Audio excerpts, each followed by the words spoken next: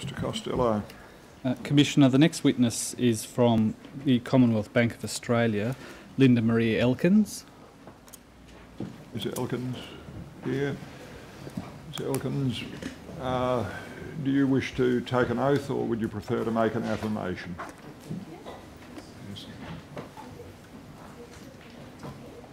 I swear by Almighty God I swear by Almighty God that the evidence I shall give that the evidence I shall will be the truth, will be the truth, the whole truth, the whole truth, and nothing but the and truth. nothing but the truth.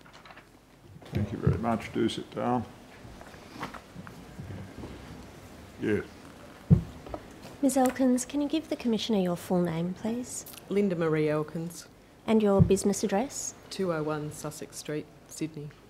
And have you received a summons to appear today before the Commission? I have, Do you have a copy of the summons I do. with you? I tender the summons, Commissioner. Exhibit 2.70, summons to Ms Elkins. Ms Elkins, have you given a witness statement that is uh, dated 5 April 2018 to the Commission? I have, I understand that you wish to make a correction to subparagraph 3D of your statement. yes. What is that correction? Um, I realised I have resigned uh, my directorship from the, well, I'm sorry, my membership of the Financial, Financial Services Council Superannuation Board Committee. Uh, and when did you resign? I think it was effective the 4th of April. Can I ask you to just amend paragraph 3D of your statement to reflect that change? And will you initial that change that you've made to the statement?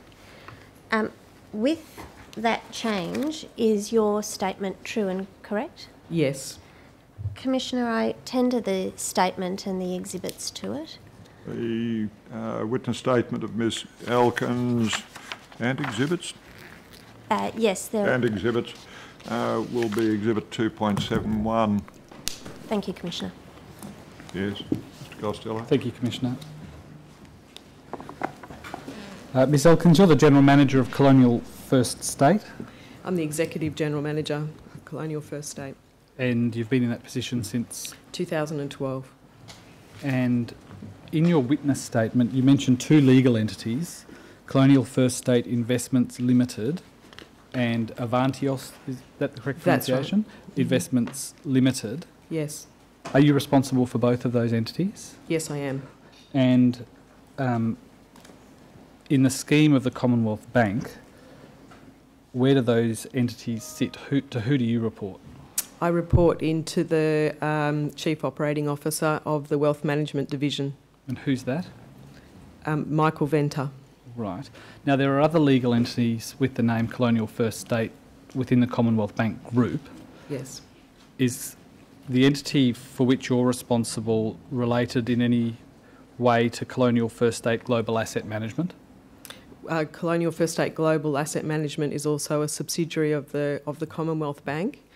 Uh, the businesses at one time in the past, the dates uh, I wouldn't remember, uh, were were joined together. These, this was one business that uh, has business that uh, has been split um, over time. Right. So you're not responsible for Colonial First State Global Asset Management. No, not at all. All right. And what is the business of Colonial First State that you're responsible for? I'm responsible uh, for the uh, platform business, to oversimplify it, I guess, for the platforms within Colonial First State, Right. both the Master Trust and the wrap uh, platform. Is platform a convenient expression to describe both master trusts and wraps? That's correct. all right. And in your witness statement at paragraph 13b, you also mention private label wrap products. Yes. What are private label wrap products? Private labels is where um, another entity would be using our administration uh, services, but we're not the trustee or the product issuer. I see.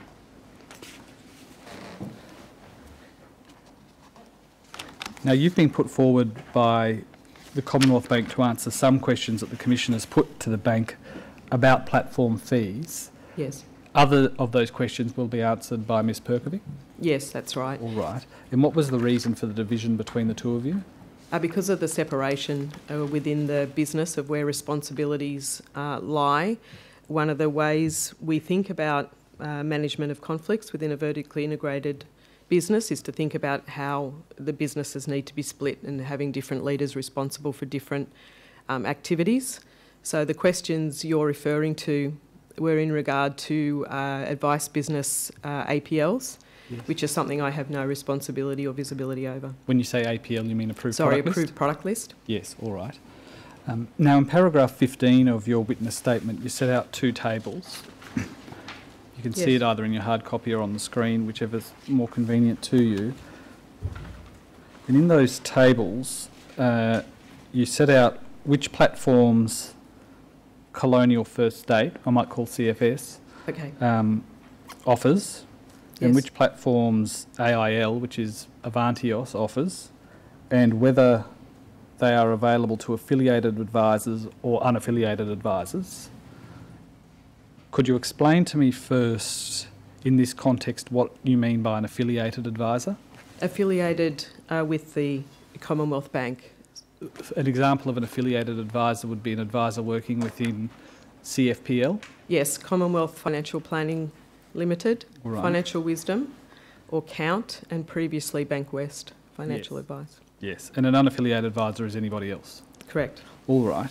And why is it that some platforms are made available to affiliated advisors, some to unaffiliated advisors, and others to both? Uh, the, that only happens in the Avanteos uh, part of the business, Yes. and that would be where there's a white label arrangement in place. And if there is a white label arrangement in place, does that mean it would be available only to an unaffiliated advisor? By nature, that white label uh, would be made available uh, to um, the licensee responsible for it, although it can happen that it is also made available to other advisors, or it can happen that an advisor who is um, affiliated subsequently goes to another licensee but can continue to write the product. But generally, that's right. All, all right. I'm not sure I entirely understand the white labelling process yet. Um, if I'm a consumer and I go to an unaffiliated financial advisor and they give me advice to make an investment through a platform, and it Yes. happens that that plat- platform is a white label platform um, manufactured by Avanteos. Yes, I won't know that it's Avanteos, is that right? It'll be labelled something else. the label would be the relevant white label, but it would be disclosed in the PDS. Yes. that the administrator uh, or product issuer is Avanteos and Yeah. that that is a subsidiary of the Commonwealth Bank. Would the white label typically be the brand of the unaffiliated advisor? Uh, typically, yes. Right, thank you. I want to ask you a few questions about, Sorry, uh, I mean, you can see that I, I don't think the name is the same. Like, it- it's not, for example, in Count, it's not called the Count white label, it's called Star Portfolio. So it would be the, the brand name that, that is the unaffiliated advisor might have a a brand. platform brand name Yes. that they distribute, and your, but your entity would be the manufacturer. Yes. Thank you. I want to ask you some questions about platform fees. Generally, what are the type of fees that Colonial, if I can refer to it, Colonial as being both entities, um, charges for platforms? So the fees um, are either administration fees that we charge for running the platform, or we charge fees that we then uh, pass on to service providers such as investment managers um, or insurers. All right. Can I take you to um, an exhibit to your witness statement? It's LME 59, which is CBA 9000.0003.0041.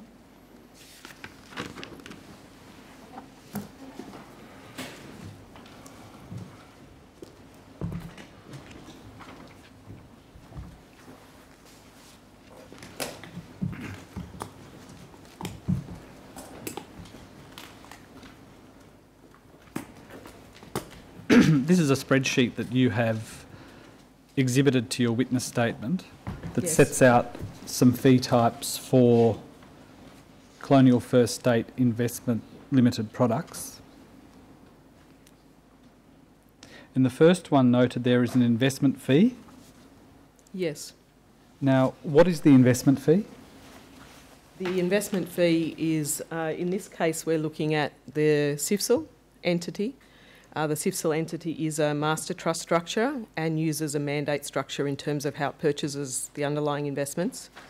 So in that case, the investment fee relates to the fees that would be paid to that underlying investment manager and administration fees paid to us for carrying out the unit price functions.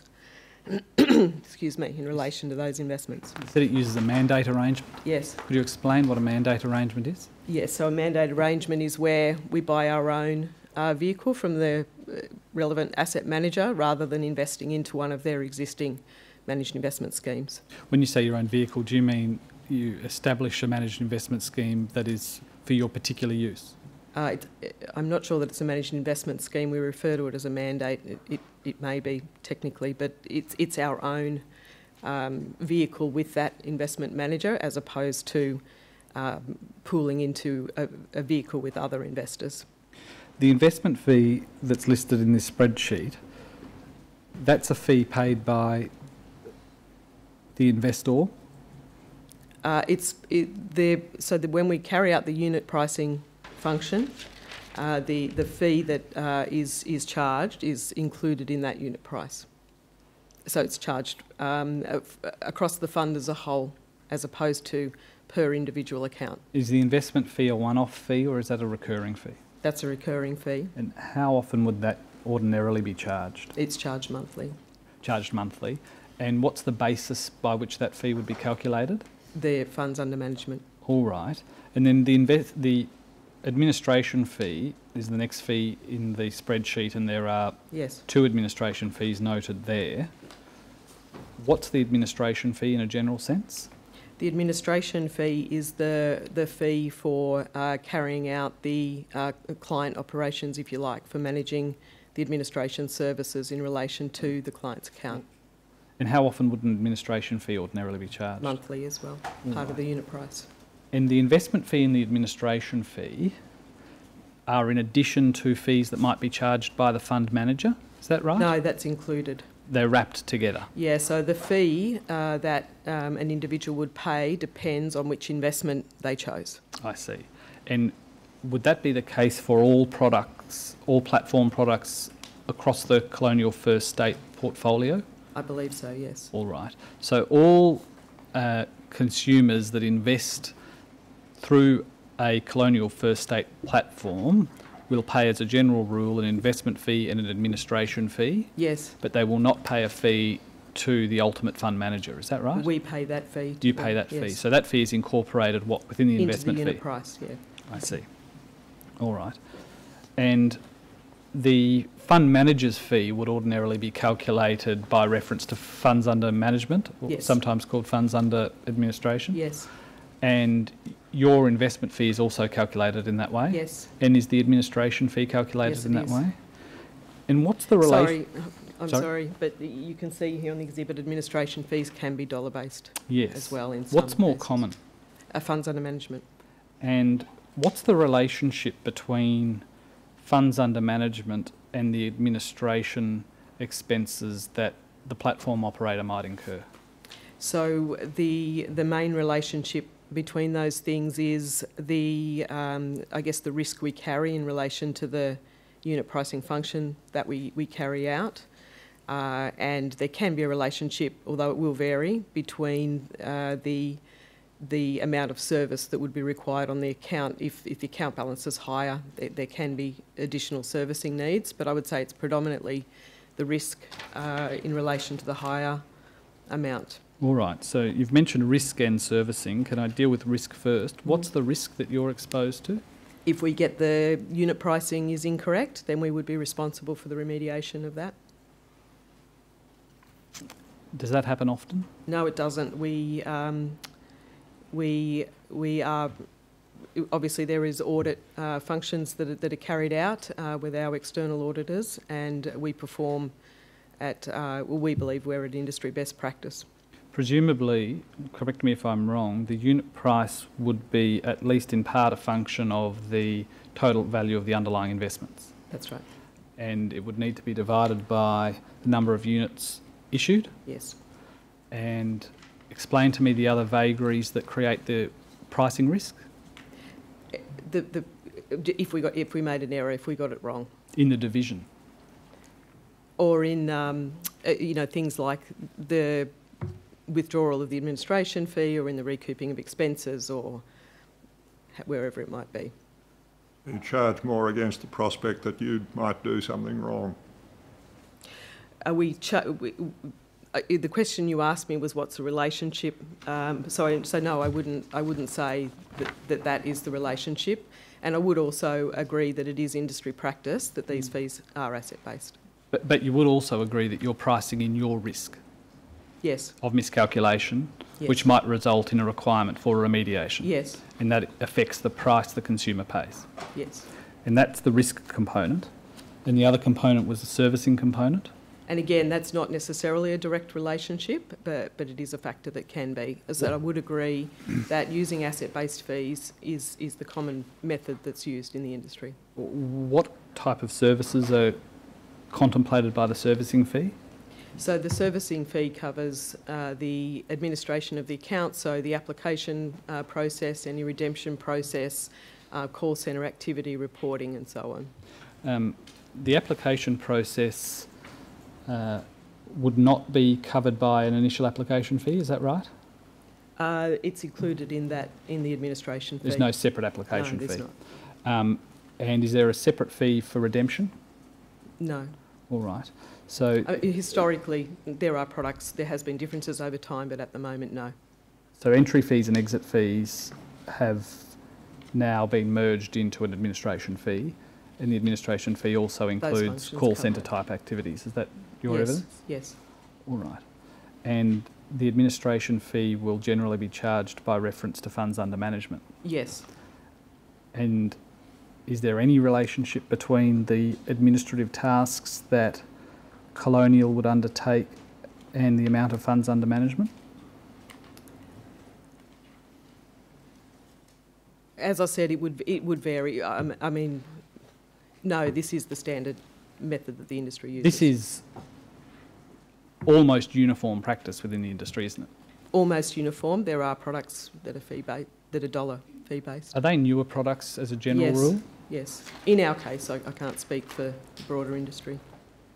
And if I can take another asset class, for example, that a consumer might consider making an investment in, a consumer might have an ability to, say, invest in direct property Yes. or invest in a managed fund through one of your platforms.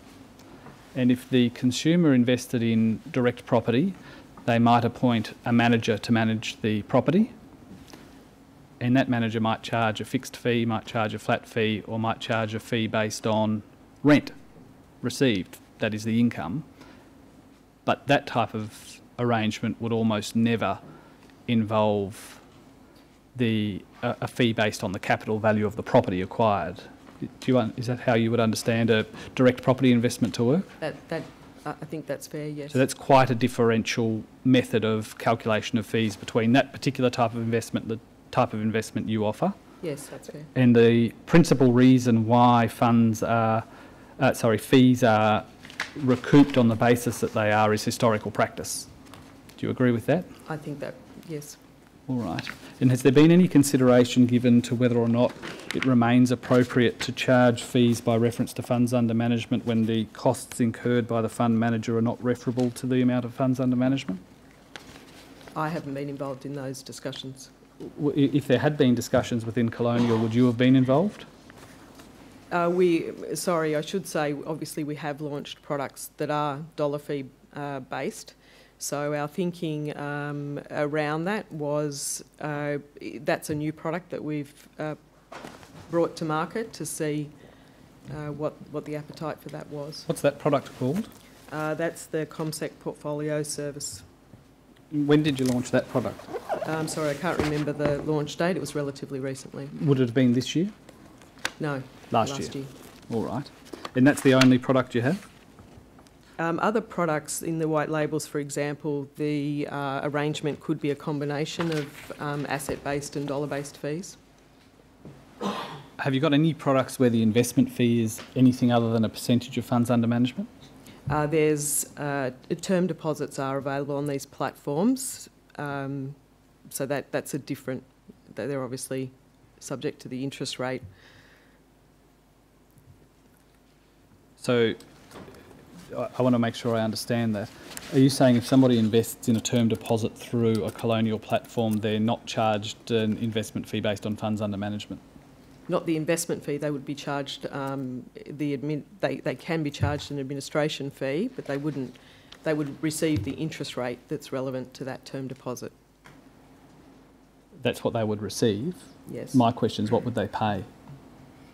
Uh, they would pay uh, just an administration fee. All right. Um, can I deal quickly with um, the expenses that Colonial might incur in uh, administering or operating master trusts and platforms?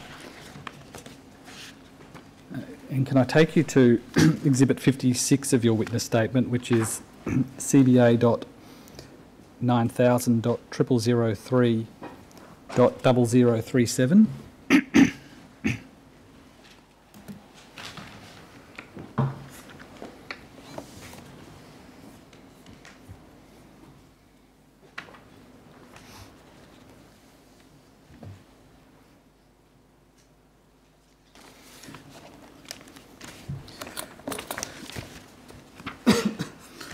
Um, are you familiar with this spreadsheet? Yes, upon seeing it. Um, this is a spreadsheet where you have had your staff at Colonial set out um, by totaled categories the expenses incurred uh, in relation to operating your portfolio of platforms. Is that right? this spreadsheet's in relation to CFSIL? Only. Yes. That, that's Colonial First State only, Yes. not Avanteos. Thank you. And you can see at the top, uh, in the grey column, it says expenses, and then it's got a dollar sign and three zeros. So these figures take, for example, the first figure um, for financial year 11 in column 6, which says 162,534. That's actually 162,534,000, is it? Yes, All right. and then if you go down to row 12, perhaps if rows 12 to 15 could be made a little larger. Thank you.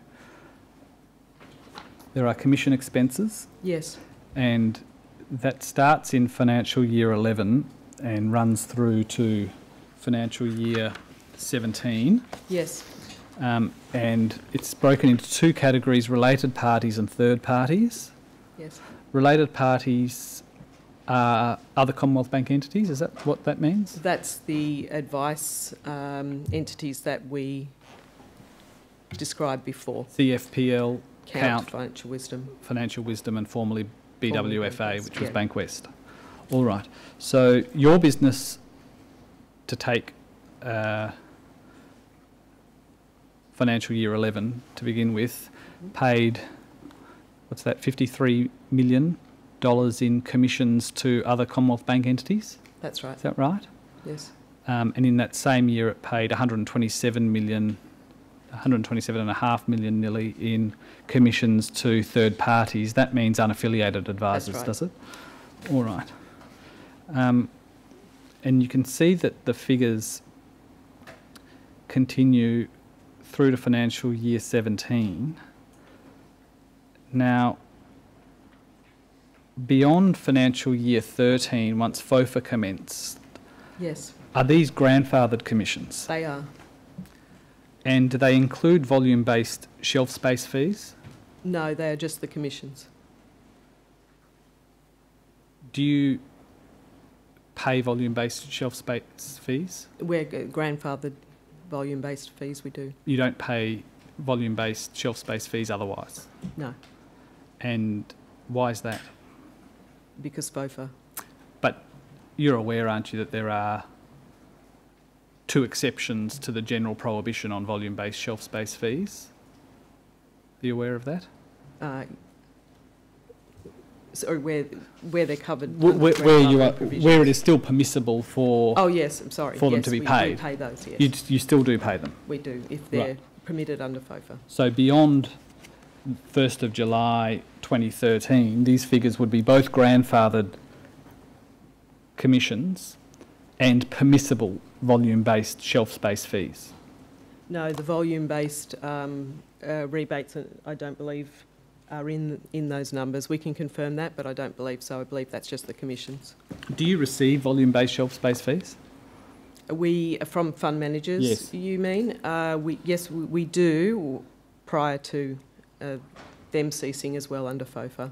Yes, and to the extent they're still permissible, do you still receive? We do, and there, there's, um, in my witness statement, they are described. Yes, thank you. Do you have an understanding of the exceptions to the ban on volume-based shelf space fees? Yes.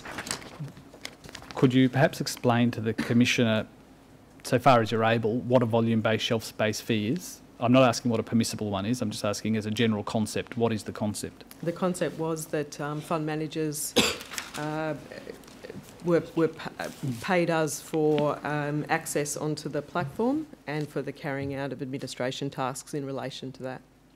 All right. And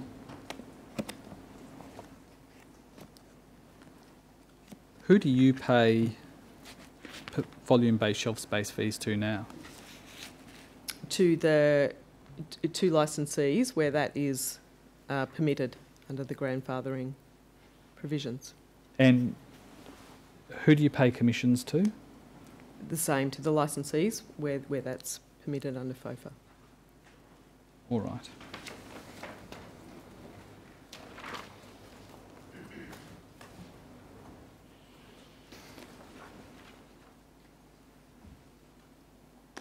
I want to ask you a few questions about charging of fees. That spreadsheet can come down now, thank you. Can I take you to paragraph 30 of your witness statement, which is at CBA 9000 0008 0001 at double zero double one.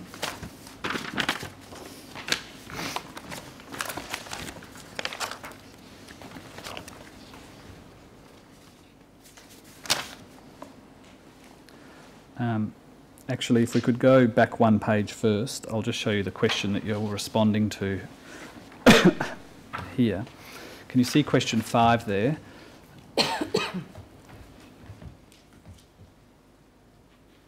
just make it a little larger. Thank you.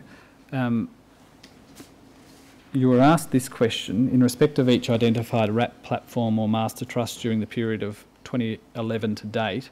What are the systems or procedures that govern whether a fee identified in answer to 3A above, that 3A above is where you set out the general fees that you charge for your platforms, is automatically charged to a client and how it is or was, or how is or any or was any fee calculated?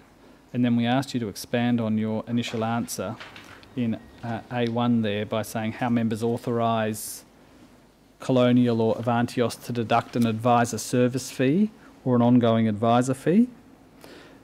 That was the question, and if I can take you to paragraph 30 of your statement now. You said there, you can see members are required to authorise the payment by Colonial or Avanteos, as the case may be, of any advisor service fee, including any, ongoing advisor service fees to any dealer group or financial advisor. Just pausing there, when you say members are required, who are members? Customers, investors. Right, I see. Members of the fund. Yes. Uh, this authority can only be given by a member via appropriately executed request. This authority is typically included as part of the application form for an interest in the relevant offering, but may be provided in a standalone document.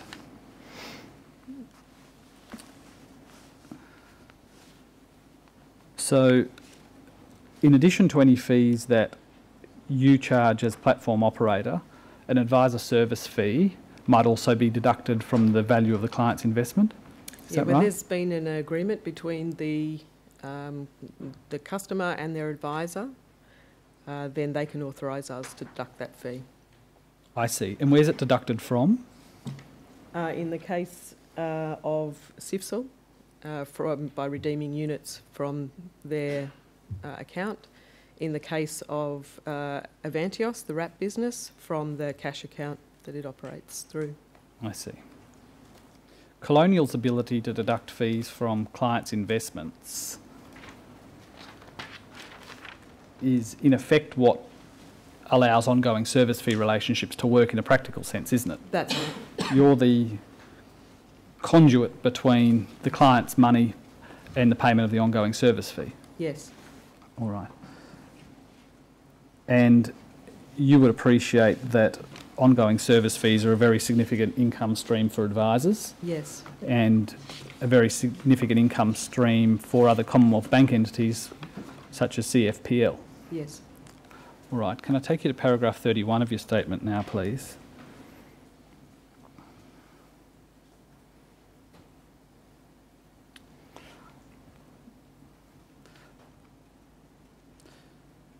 Uh, sorry, 31.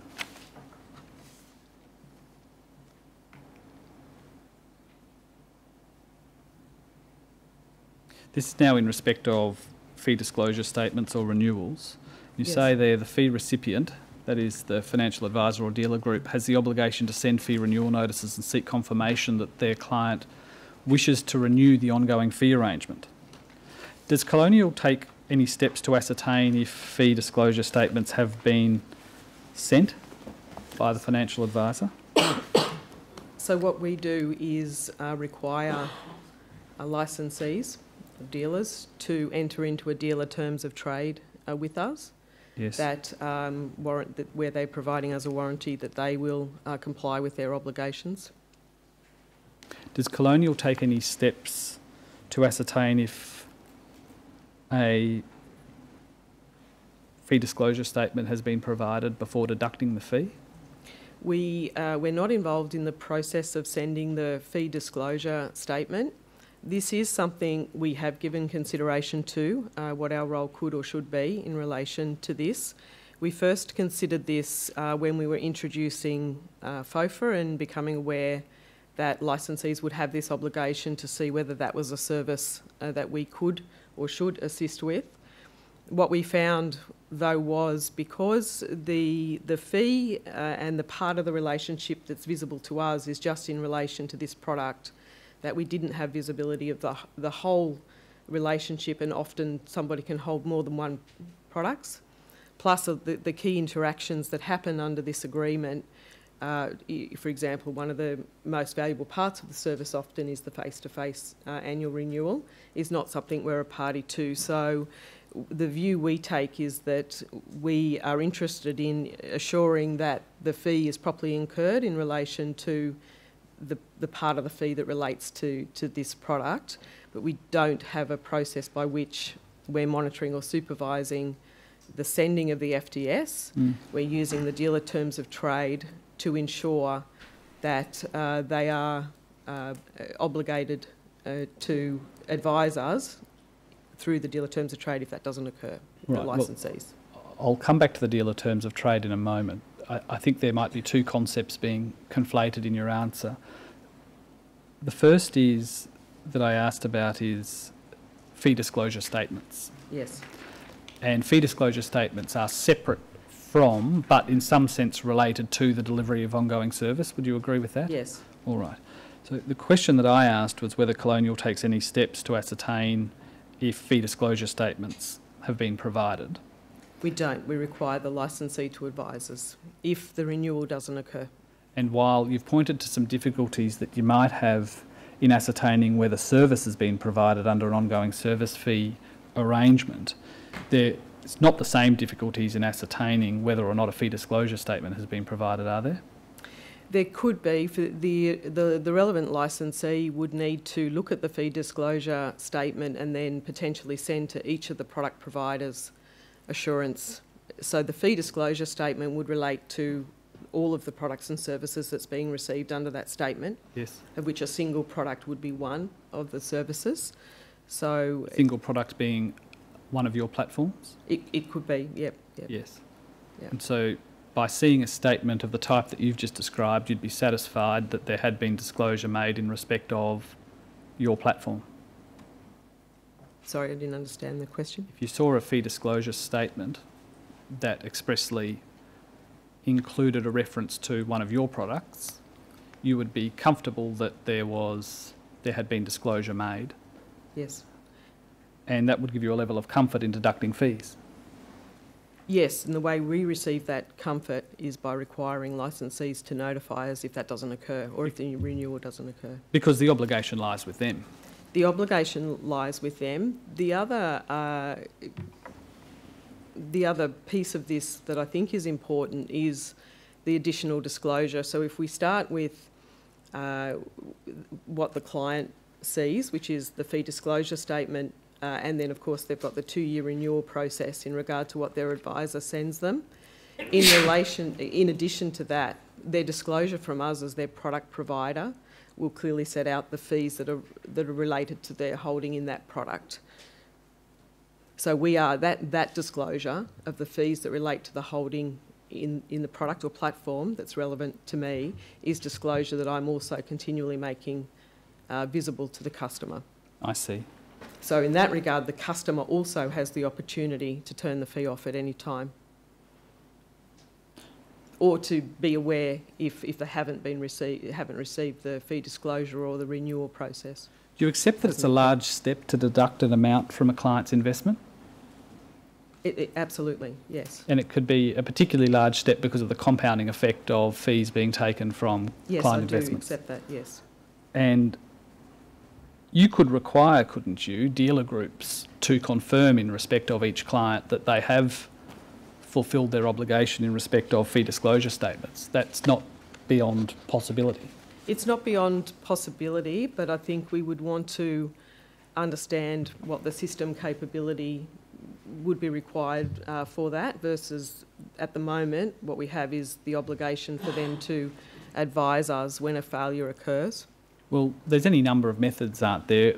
At one end of the spectrum, for example, you might require positive proof of the fact that a fee disclosure Yes. statement's been provided, Yes, and perhaps at the less rigorous end, you might conduct randomised auditing of the licensees to see whether or not they have been provided. yes, that's right. But at this point, you don't do either. We're not doing uh, the auditing, but I, I think I think you're right. I think that is uh, steps that we could add to the way we're administering the dealer terms of trade that would improve. You say steps we could add. Is there any current plan to add? Uh, it- To be honest, I, I I think through the course of the commission this week, uh, there, there has been, in, in, uh, it will be something that I will be going back to the office and doing, yes. All right. Yep. You've mentioned the um, dealer terms of trade. Can I take you to paragraph 31 of your statement, please?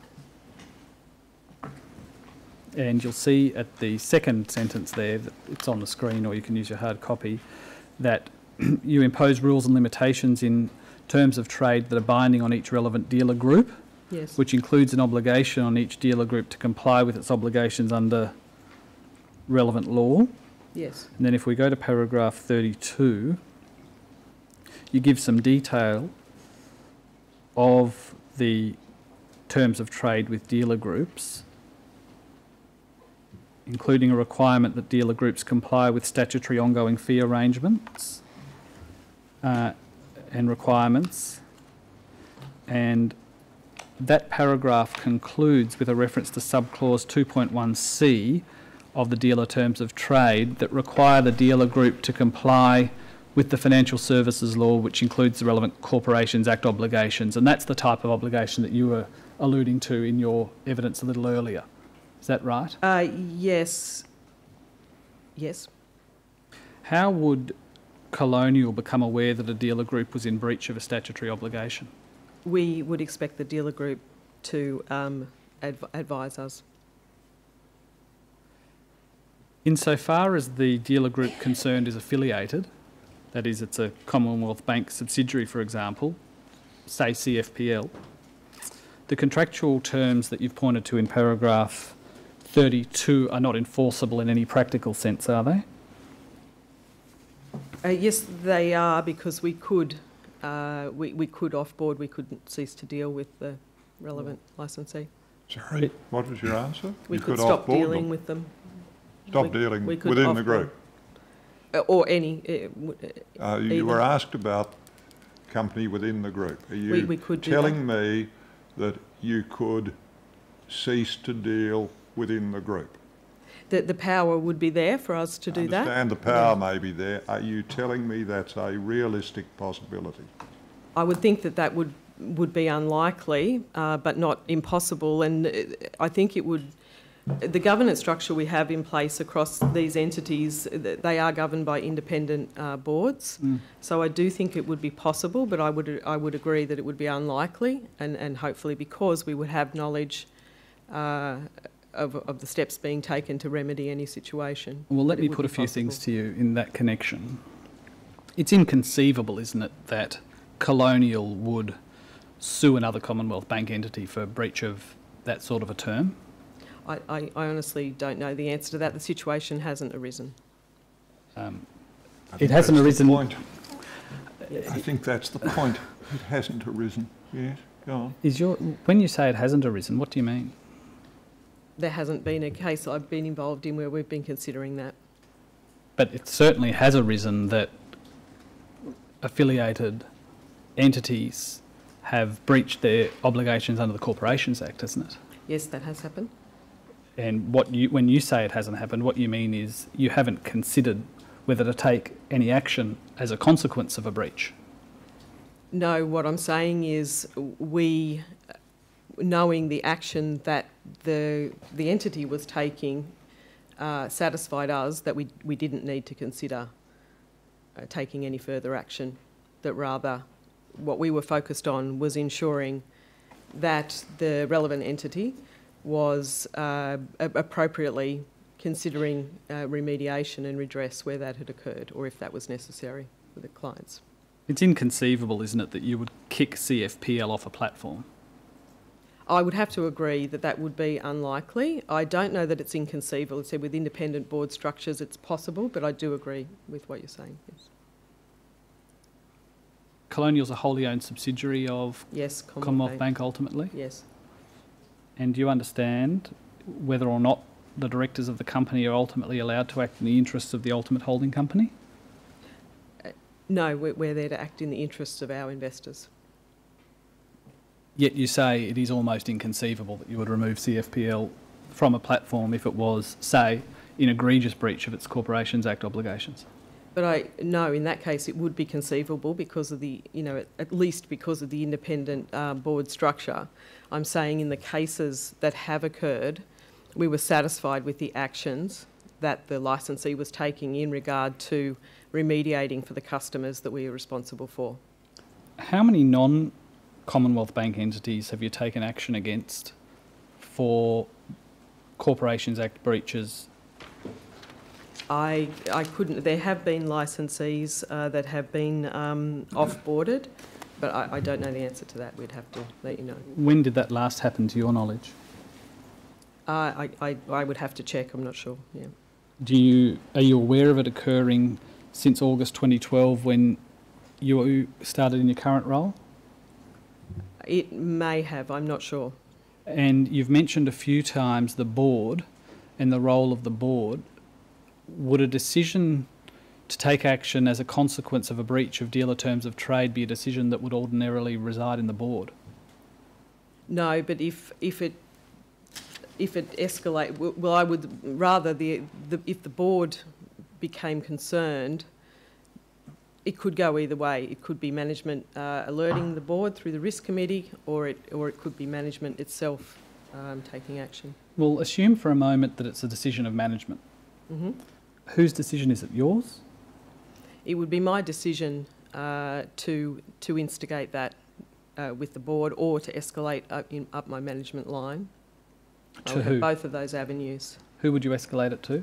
Initially, to uh, you know, up my at the moment the chief operating officer who I report to. Is that the chief operating officer of the Commonwealth Bank? No, of well, initially the escalation would be to my immediate boss, Who is? uh, Michael Venter, the chief chief operating officer Of what? of the wealth management division. Of the Commonwealth Bank? I would also have ability to escalate uh, directly with uh, with the executive committee.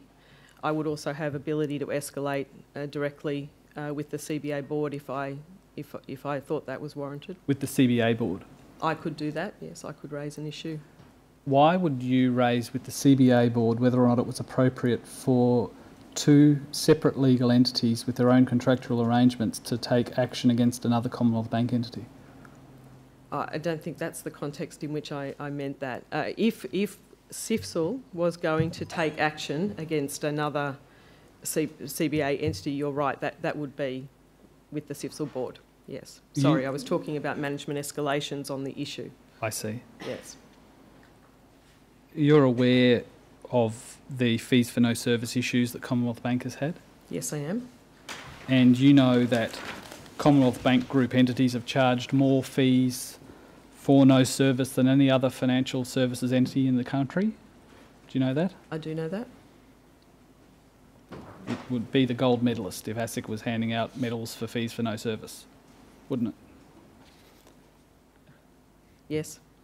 And at any point in time, have you considered whether or not it is appropriate for the entities that you manage to take action of any kind in respect of the deduction of fees from client accounts that you manage? Sorry, say that again. Take action. In the case of uh, Commonwealth Financial Planning, uh, we were satisfied that Commonwealth uh, Financial Planning and CBA were were um, investigating and and remediating where this issue had occurred. When did you become satisfied of that fact? The uh, the open advice review uh, in in 2014 is when uh, it, it was very obvious the extent to which, uh, as I said, both Commonwealth Bank and the licensee were um, were investigating not only the fee for no service issue but issues uh, within the within the Commonwealth Bank. Actually, in two in sorry in 2014, uh, the issues were uh, related to inappropriate advice. I think out of those investigations and the, the desire to look further, the, the fee for no service issue arose. Just as I put to you earlier that you could require the licensee to certify that a fee disclosure statement's been received, you could do the same in respect of the provision of ongoing advice, couldn't you? We could do it, yes. Have you thought about doing it? We have thought about doing it. Um, sorry, I, sorry, are you, are you saying again the renewal notice? No, I'm not. I'm saying I'm saying separately to the renewal notice, the issue or one of the issues that Commonwealth Financial Planning and other entities within the group um, is in a remediation program for is the provision uh, is the charging of fees without receiving a service. Yes, You understand that? I do. And in many cases, those fees would have been deducted from uh, by way of platforms that you operate. Yes. And I'm asking you if at any point you have considered whether or not it would be appropriate for you to require the dealer groups to certify in respect of each customer that they have complied with their obligations to provide service. Well, I'm using the dealer terms of trade um, to do that, and, and I do agree we should look at how we could strengthen the way we're administering that dealer terms But you're not trade. really using the dealer terms of trade to do that, are you? You're just pointing to the fact that there, was, there is at least a possibility that if you wanted to, you could do something. In relation to the uh, Commonwealth Financial Planning incident, as I've already said to you, when we became aware of the matter, we were also aware of the open advice review and the seriousness with which uh, they were taking around that the, the remediation. Um, I, I can certainly assure you, as the product issuer, I was very unhappy at what was happening. Excuse me, but I I uh, did believe that allowing uh, Commonwealth Financial Planning to investigate and carry out their remediation was the best, uh, was going to get the best outcome for our members. Did you consider whether you had any independent obligation to remediate your members? Uh, again, because we were satisfied that they were going to be remediated, I, I didn't consider that. I did, however, consider uh, and have considered in hindsight, now that we can see the full extent of what happened, I have turned my mind to what could I have done differently or was there in, uh, interventions that I could have taken.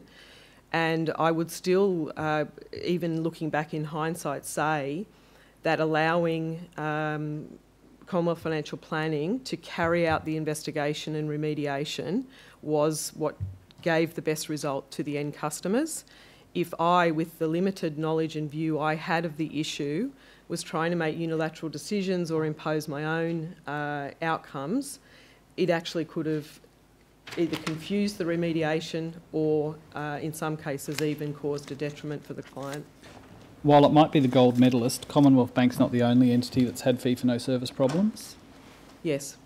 Have you written to any other dealer groups seeking any confirmation in respect of the provision of fees for no service? No, again, we're relying on the dealer terms of trade.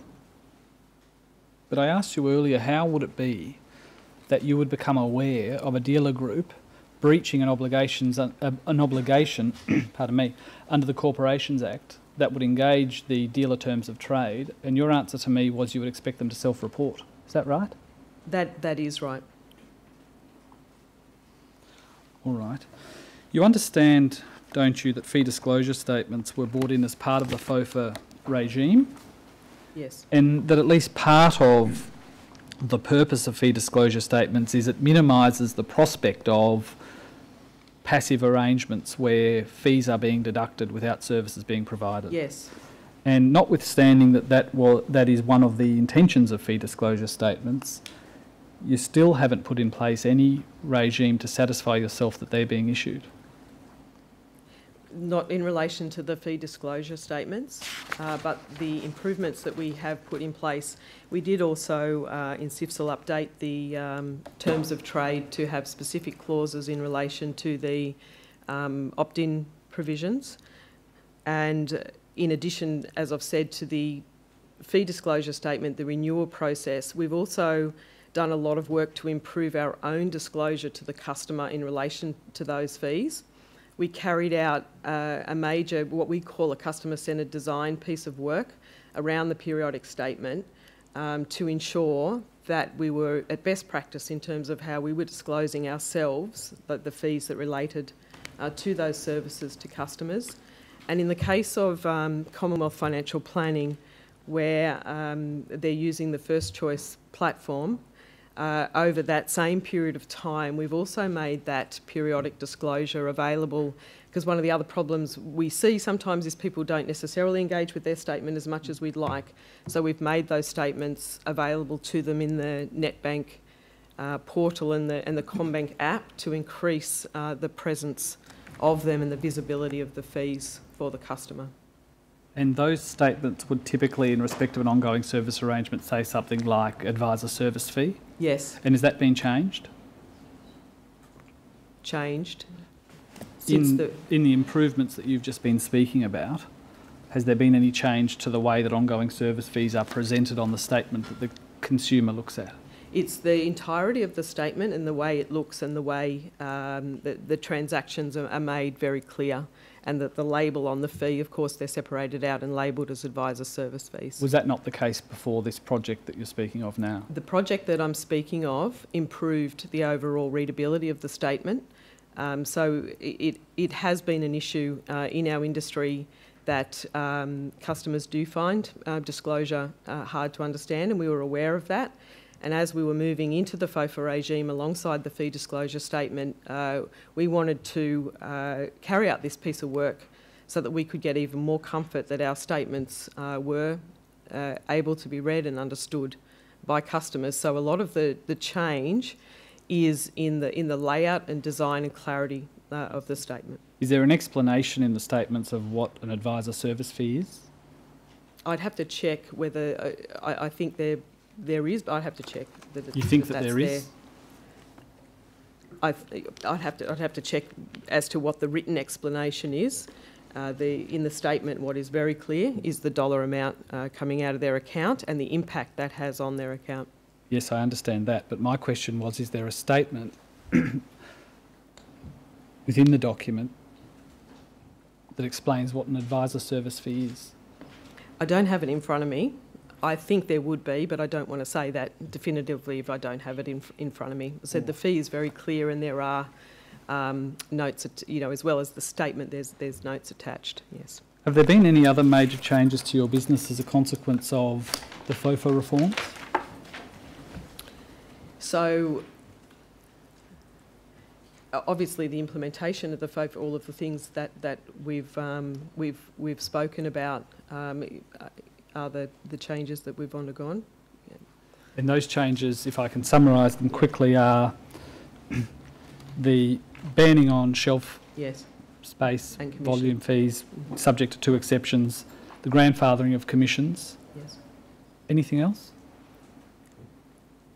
Uh, that, well, there's been a range of regulatory reforms over that time. I'm sorry, I'm going. I'm just trying to blank. So understand how- we implemented all of FOFA. Yes, Yeah, um, but insofar as how you interact with a consumer, the principal change to your internal business processes as a consequence of FOFA is the redesign of the statement to try and give greater visibility of the fees. Is that your evidence? the redesign of the statement wasn't necessarily a, a FOFA initiative. Uh, it, it was an initiative probably that we would have undertaken anyway, but it certainly does complement. Uh, we're continually looking for improvement and way, ways to do things, uh, ways to do things better, and the statement would fit into that category.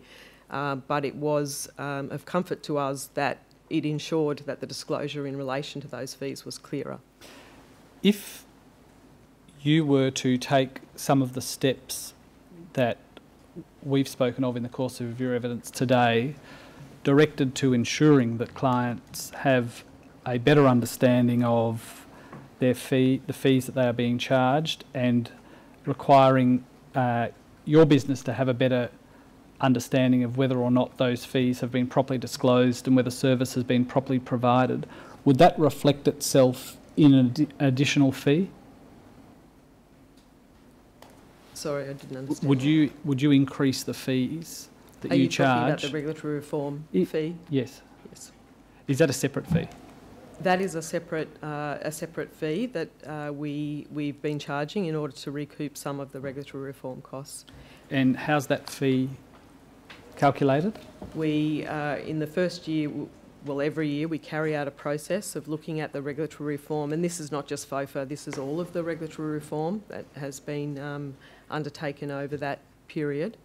And we then, you know, consider of that what is appropriate to be passed on uh, in regard to ensuring that it's not part of already duplicated in the administration fee, that is, that is um, genuinely uh, additional cost that sorry, if I go back a step, the alternative would have been to have to have increased the administration uh, fee. Yes. Rather than doing that, our view was to uh, calculate uh, what's appropriate to be uh, passed on uh, with a view that, and charge that annually with a view that that fee uh, will, will cease at some point. When did you first start charging that fee? Um, I think the date is in my witness statement. I'd have to check. Do you remember the year? I think- Is it Was, 2012? was it before. FOFA? Uh, sorry, I've gone, I can't remember the date, but That's it right. would be in the fee table. But it's been charged for some years. Yes, it has. And is it charged as a flat fee, applied equally to all, or is it charged as on a prorated basis of a total, charged by funds under management? Yeah, it's, it's, it's uh, included in the, it's charged uh, by redeeming units from the uh, individual account. But what's the basis upon which the redemption takes place? Is it funds under management? Uh, it, it- it differs. It, it, part of the consideration in charging the fee, there's, and there's a cap. So the details are, are in my witness statement. All right, but just let me ask a simple question. Is it calculated by reference to funds under management? Uh, I believe in some cases, yes. When you say some cases, do you mean some years, or do you mean it's charged in a different way for different products? There's a, there's a cap as well. No, no, no. My question was, Yes, the answer's yes. no, I, I'm not sure the answer can sensibly be yes. My question was, when you say it's charged differently in different ways, do you mean it's charged in different ways in different years? Or do you mean it's charged in different ways in respect of different products? Different products. different products. So some products, the consumers would pay, what did you describe it as, a regulatory Reform. reform charge fee uh, based on funds under management, and others would pay it on a differential basis, perhaps a fixed fee. Uh, I, yeah, I, I need the detail in front of me. All right, The Okay. detail is in my, my witness statement. all right. And that's been charged for some years now. Is there any plan at the moment for when that charge might stop? Uh, We assess it uh, every year in relation to what has occurred. Our, our plan is for the fee to stop, and that's why it's separate. Mm, Do you recall now how that fee is described in statements sent to customers Uh, I'd, I'd need to see the statement, but it would be disclosed in the statement, yes. as a separate line item?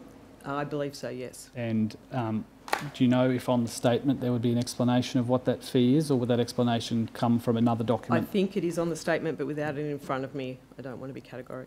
Thank you. Commissioner, I have no further questions.